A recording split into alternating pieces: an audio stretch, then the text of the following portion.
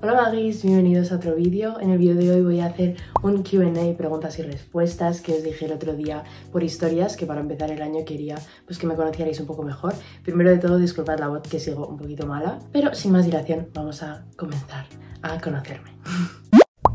Bueno, si sois nuevos en el canal, yo soy Navi, llevo una cuenta de K-pop en TikTok y en Instagram y estoy mucho más activa por allí que por aquí, pero uno de mis objetivos de este año es estar más activa también en YouTube, así que bienvenidos seáis. Y vamos allá. Bueno, he dividido las preguntas en dos categorías, K-pop y personal, y voy a empezar por las de K-pop. ¿Te influyó alguien para que entraras al mundo del K-pop y de los K-dramas? Sí, mi hermana mayor eh, me enseñó Blood, and Tears, estábamos de vacaciones, dijo, mira qué canción tan.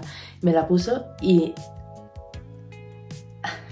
Esta escena, este, esto, eh, mm, eh, sí.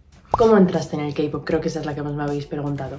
Pues, como ya he dicho, mi hermana me enseñó Blood, Sweat Tears cuando estábamos de vacaciones una vez, pero este no fue mi primer contacto con el K-pop. Yo ya conocía el K-pop de antes. Eh, aparte de, obviamente, Gangnam Style, que yo creo que es la primera canción de K-pop de la mayoría de la gente. Antes tengo, vale, esto es súper específico y estoy como desesperada por encontrar a alguien que haya tenido también esta experiencia había un youtuber que yo veía de pequeña que se llamaba Ryan Giga, que no sé por qué en plan le dio por hacer como una parodia de un grupo de K-pop, hicieron un temazo que se llamaba Who's It Gonna Be, del grupo de K-pop que crearon que se llamaba BJA. Era buenísima la canción, o sea, me la sé de pe a pa y esa fue la primera canción de K-pop que yo escuché como conscientemente sabiendo que era K-pop, pero vaya.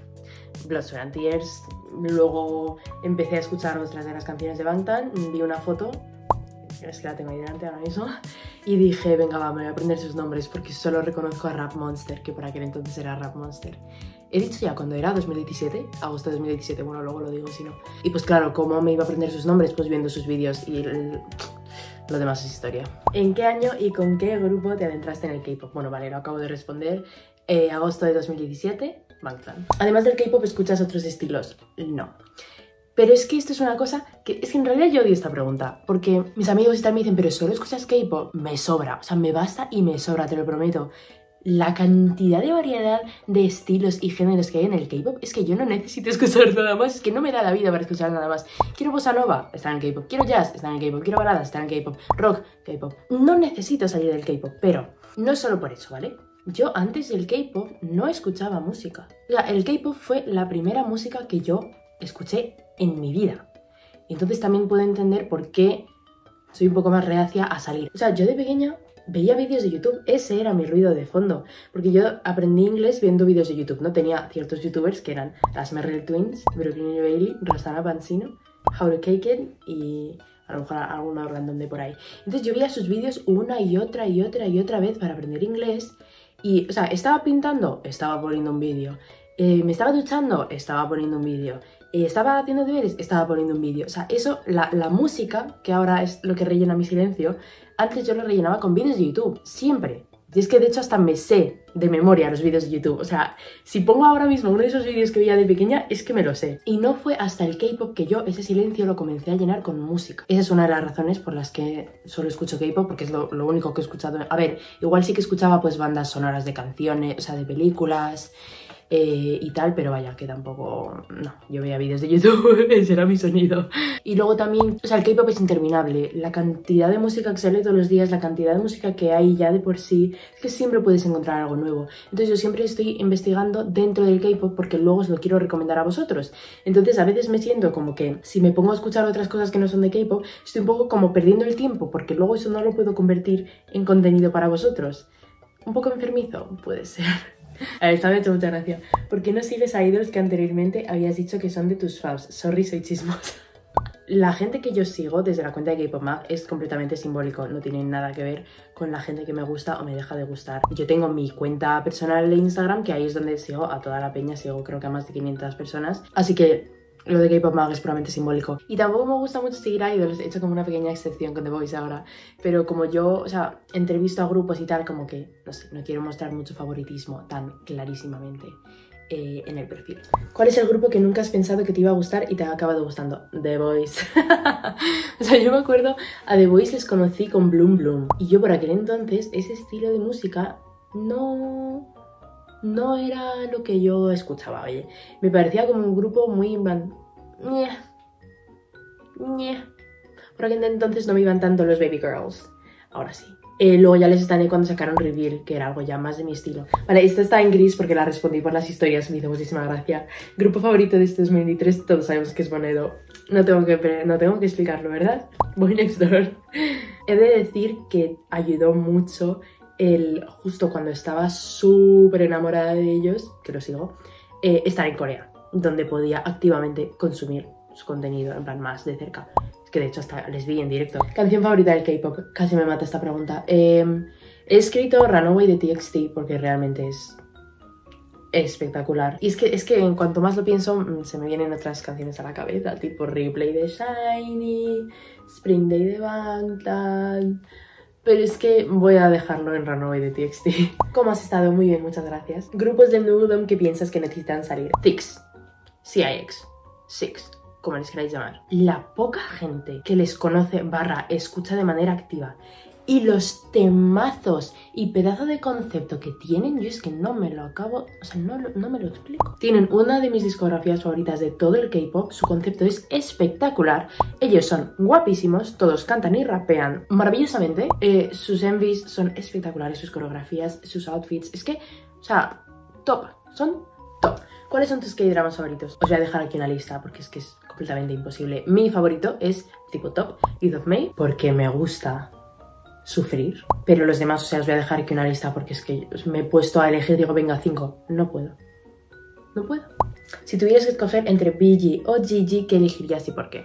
Bueno, muchos, si me seguís en Instagram, muchos eh, seguramente sepáis que voy a decir BG, pero voy a explicar por qué. Y realmente es que es muy sencillo, es simplemente que me siento más atraída al estilo de música que sacan los BGs. Es que me da igual quién cante la canción, si la canción me gusta la voy a escuchar, la cante un BG o la cante una Gigi. Pero sí, simplemente se ha dado la casualidad de que yo me siento más orientada hacia la música que resulta que cantan hombres. ¿Cuántos álbumes de K-pop tienes y cuál es tu favorito en cuanto a formato? He contado antes, tengo aquí en mi cuarto 85 álbumes, tengo algunos en el cuarto de mi hermana, pero no creo que sean más de 5 o sea, vamos a poner redondeando, tengo unos 90 álbumes. ¿Cuál es tu favorito en cuanto a formato? No tengo uno en específico, pero el estilo de los de Y, de Boy Next Door, los de Hansumu, esos me parece siempre que son los más cómodos. ¿Te gusta Treasure? Es una afirmación. Sí, me gusta Treasure. Tienen una de las mejores discografías del K-pop y no pienso discutirlo con nadie, aunque no tengan demasiada música. La que tienen es espectacular. De hecho, vi a T5, a la subunidad de Treasure en Corea, y es que fue espectacular. ¿Por qué The Voice es tu grupo favorito? The Voice es mi grupo favorito porque que antes de ellos había estaneado a BTS, NCT y 80s en ese orden. Con The Voice fue la primera vez que me sentí como cuando me sentí con Bangtan. No sé, me sentí como si fuera nueva en el K-pop otra vez, como con esa emoción de conocer al grupo y a los miembros tal. Y también fue la primera vez en mi vida K-popper que estaba como triste por no estar con ellos desde el debut. O sea, yo nunca he entendido esa obsesión con soy fan pre-debut o soy fan debut o yo le conocía cuando estaba en la triba de su madre. O sea, nunca he sentido eso. Y con The Voice fue la primera vez que dije, ay, como que me habría encantado ser de debut. Y es, no sé, fue como una conexión súper grande con los miembros de...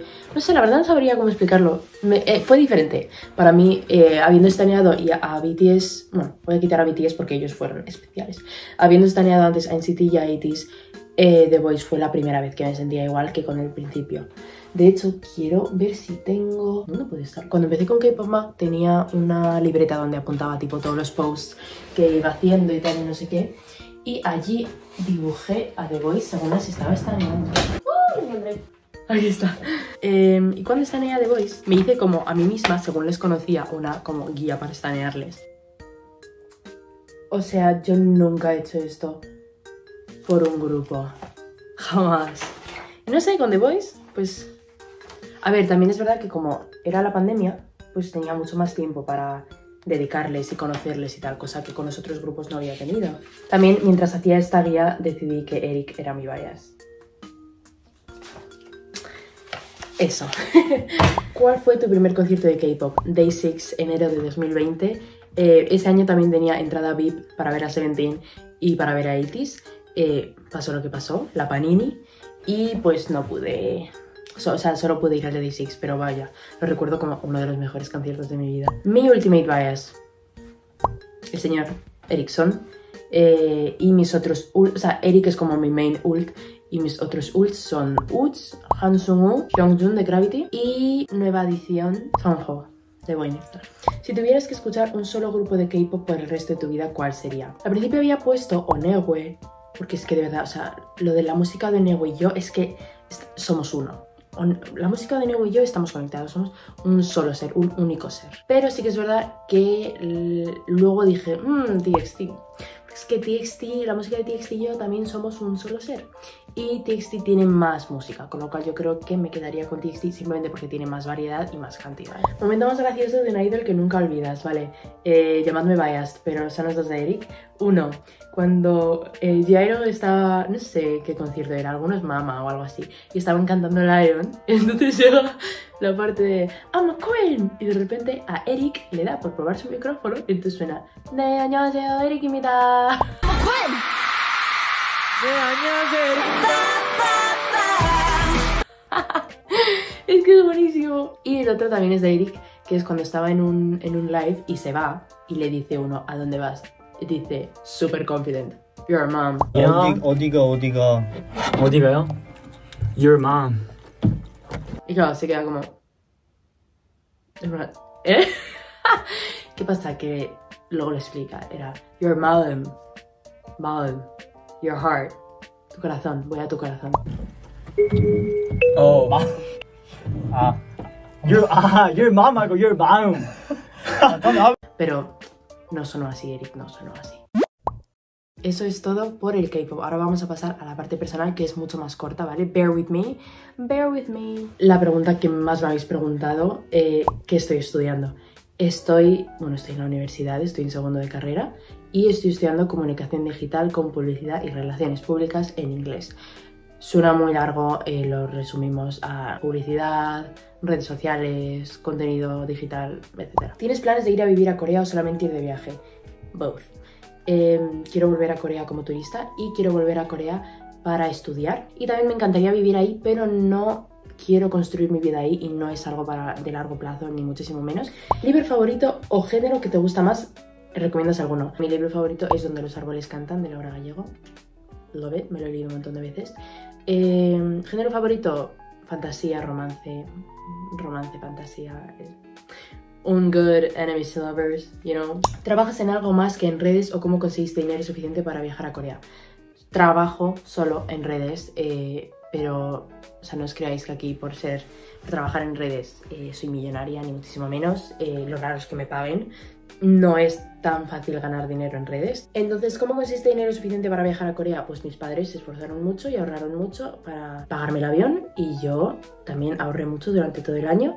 Vendí álbumes y vendí lightsticks también para pues, apoyar un poco, para pagarme la vida ahí. Mi hermana estaba pagando el piso y yo pues me pagué pues, la comida, los viajes, eh, todos los caprichos que me compraba, los conciertos. ¿Cuál es tu trabajo soñado? Mi trabajo soñado es Community Manager en Hype. Diseñar las estrategias de redes para los debuts y los comebacks de los grupos. Llevarles todo el contenido eh, de las redes a los grupos de K-pop de Hype. Me encantaría. ¿Cuántos hermanos hermanas tienes? Tengo dos. Tengo una hermana mayor y un hermano mayor. Y nos llevamos muy bien. Esa era la última pregunta, espero que os haya gustado mucho este vídeo. Y bueno, espero que os haya respondido las preguntas, sabéis que siempre tenéis mis DMs abiertos, espero que todo lo que os hayáis propuesto para este año se haga realidad y nos vemos pronto.